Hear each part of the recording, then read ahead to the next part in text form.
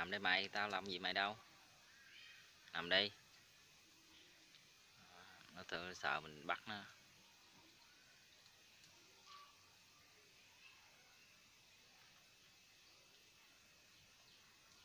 Dễ thương các bạn con bự nè con đứng nè con đang đi đi là con trống đó, đang nghỉ lông đang thay lông quá.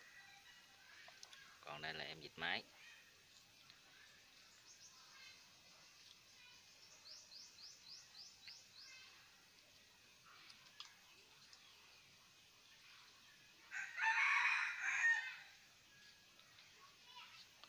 Dịch này chắc tầm độ mấy tháng rồi, ba bốn tháng nhiều quá. Bắt đầu thay lông này, chắc cả tờ, trên 4 tháng quá.